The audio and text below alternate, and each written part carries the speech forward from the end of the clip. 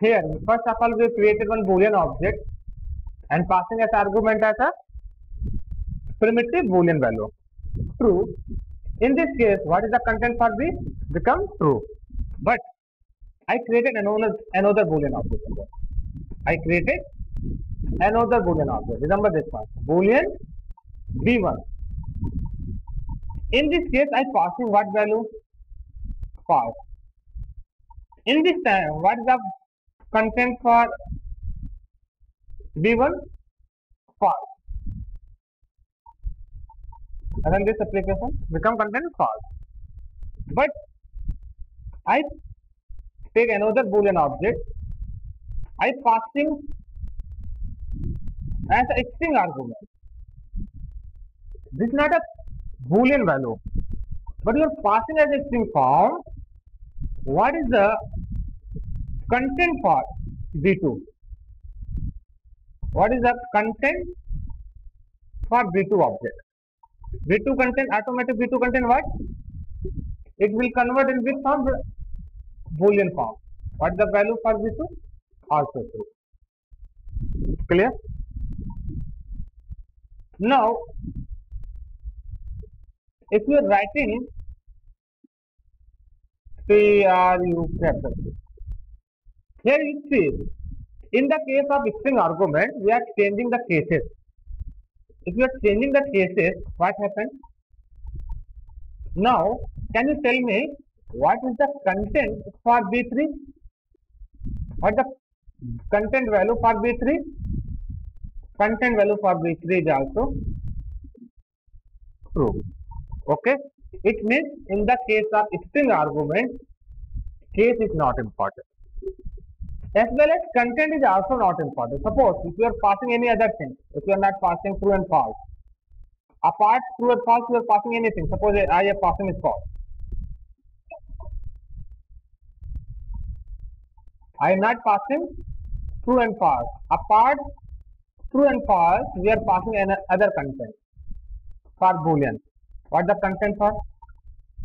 B4, B4 we are passing apart and false, then content becomes B4 is a false. Clear? So remember this point. What point? If we are passing string argument to the boolean constructor, then case is not important and content is also not important. If the content case is string, it represents true, otherwise stated as a false. Clear?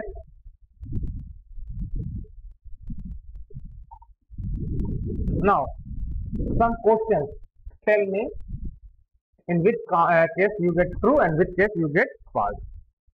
I have created one boolean b1 equal to new boolean. You are passing is writing the s.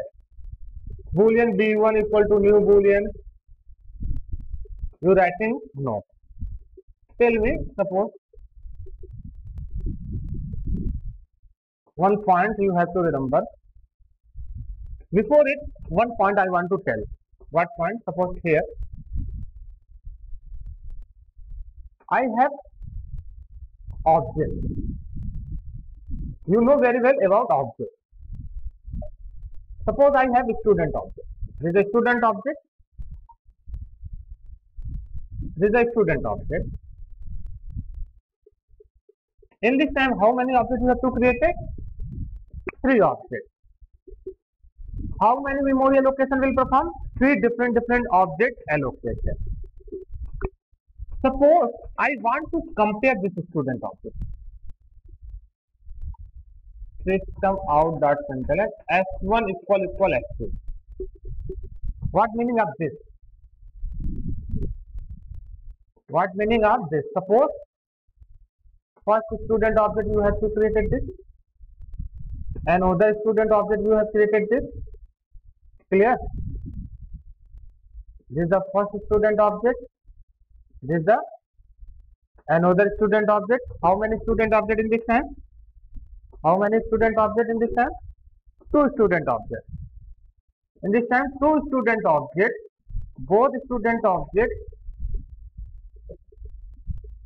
are got different memories.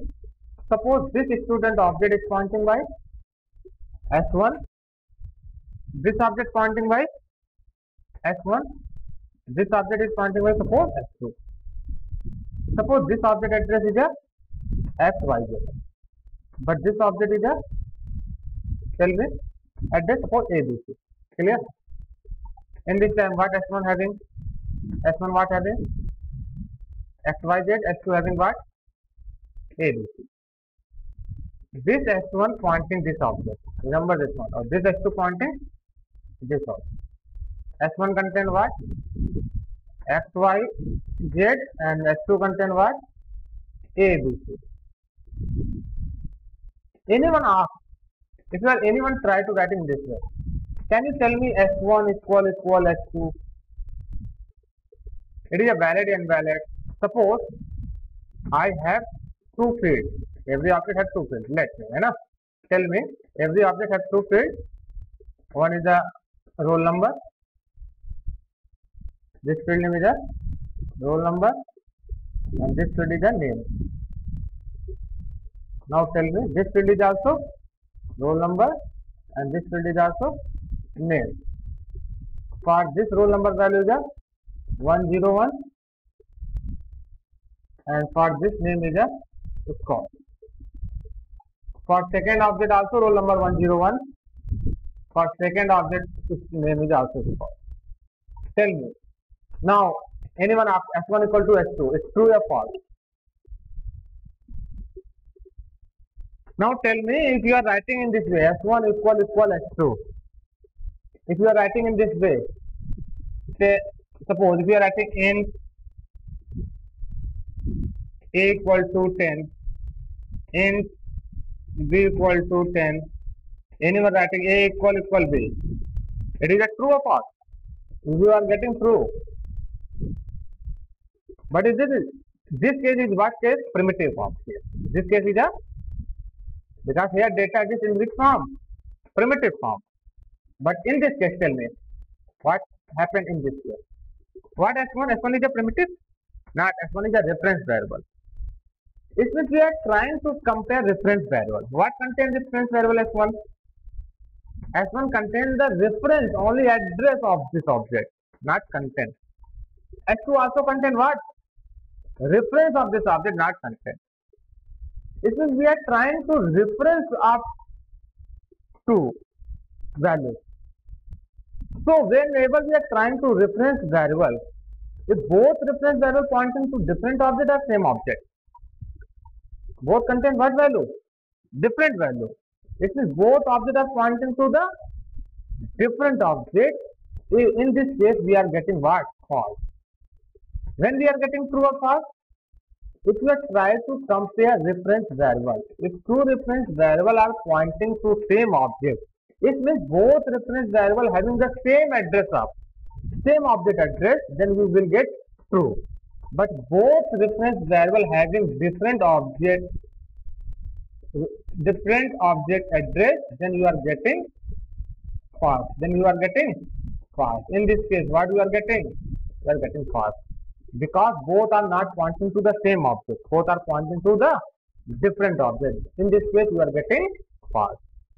Remember this one whenever you are trying to compare reference variable whenever you are trying to compare the reference variable if both reference variable is pointing to the same object then you will get the true but if both objects are pointing to different memory then you will get the false. Suppose anyone i have another reference variable whose name is s3 clear? I have another reference variable whose name is s3 but this reference variable contain what? This reference variable contains also what value? Xyz but xyz what? Address. Which object? This object. In this time this student object pointing by how many variables? Two variables. S1 also pointing this memory. S3 is also pointing this memory now in this case anyone asks what the s1 anyone asks s1 equal equal s3 it is a true or false it is a true it is a true. Why? Because both reference variable points into the same memory. So remember one point. Whenever we are trying to compare reference variable, reference variable not compare the according to the content